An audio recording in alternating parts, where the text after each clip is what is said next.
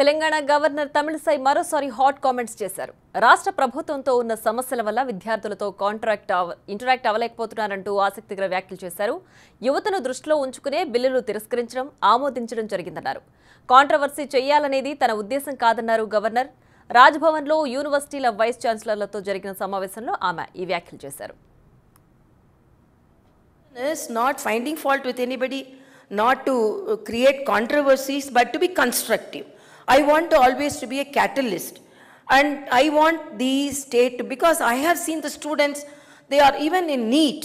You have seen these students day to day because of the limitations of chancellor and because of some of the problems I face with the state government also.